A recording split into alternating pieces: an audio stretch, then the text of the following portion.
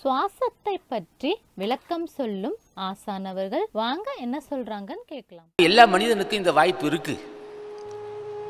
எல்லா மனிதருக்கும் ஒரு நாள் உண்டு இருபத்தோராயிரத்தி அறுநூறு முறை வந்து போகின்ற சுவாசத்தை பார்த்து அதோடு பழகி அல்லது புண்ணியம் செய்து அல்லது தினம் பூஜை செய்து அந்த காற்றை ஆசான் துணை கொண்டு புறமத்தி சுழிமுனைகள் செலுத்திவிட்டால் அந்த காற்று மௌனம் என்றும் சமாதி என்றும் பொருள்படும். அந்த வாய்ப்பு பெற்றவர்களுக்கு காலம் முடியவில்லை. காலம் அறிய வேண்டியது. இனி அவனுக்கு எந்த காலமும் தேவையில்லை. ஒரே காலம். பல கோடி யுகங்கள் இருக்கலாம்னார் அப்போ அப்படி உள்ளவர்கள் இருந்தியன் காயத்தை நிலுகூடினார் இந்தியனின் ராப்பகல் அட்ட இடம் அப்போ இடைகளையும் இடைகளையும் இடது பக்கம் வருகின்ற காட்டு இரவு வலது பக்கம் இருந்த காட்டு பகல்.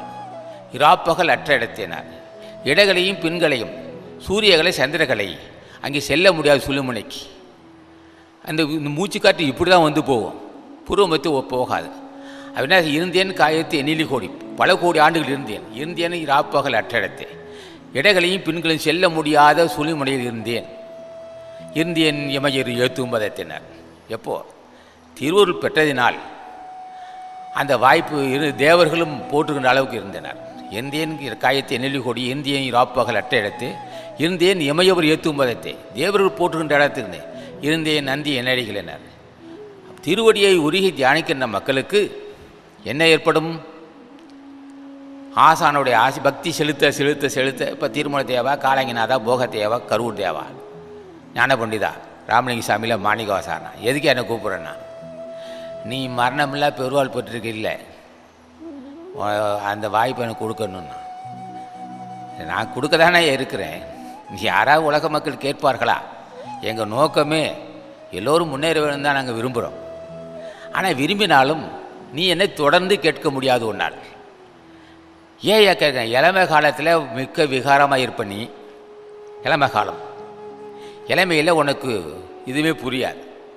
இதே தெருவில் ஒரு அழகான பெண் இருந்தால் தினம் இங்கே போயிட்டு இருப்பான். இவனா போகிறான் அந்த வினாய் போடி அழுத்திட்டு போகும்.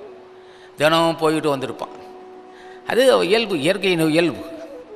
அப்போ இளமை காலத்தில் விகாரங்கள் காமி விகாரம் மன உருநிலைப்படாத செய்யுது.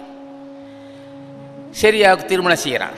அப்புறம் மனைவி மக்கள் அப்படி ஒரு பந்த பாசம் மாமன் மச்சின மருமையும் போனால் வந்தான்னு சொல்லி அது ஒரு மயக்கம்.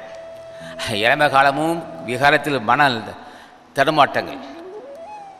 மிகப்பெரிய கொடுமை மனத்தால் ரொம்ப கட்டுக்கடங்காத மனநிலையில் இருக்கும் அது எல்லாத்துக்கும் இயல்பு. அடுத்து திருமணம்னா பந்தபாசம் சூழ்ந்துக்கும் அப்புறம் மாமன் மச்சன் உறவுகளாக வந்து ஆப்பிடுறது அப்புறம் இல்லறத்தில் வாழ்ந்து கிடப்பான். ஆச்சு நாற்பது நாற்பத்தஞ்சு வயசு சிந்தனை வரும். சரி நாம் ஜென்மத்தை கடத்த நினைப்பான். நினைத்தாலும் பந்தபாசம் விடுமா கூடாது அப்புறம் பிள்ளைகள் பொருள் சேர்க்கணும் திருமணம் பெண்ணுக்கு திருமணம் ஆமை திருமணம் மருமையம் ஆமையம் மச்சின தொலைச்சான். ஆசானது அருளுரைகளை தொடர்ந்து கேட்க அரங்கர் டிவிக்கு லைக் பண்ணுங்க சப்ஸ்கிரைப் பண்ணுங்க. மறக்காம பெல் பட்டனையும் கிளிக் பண்ணுங்க.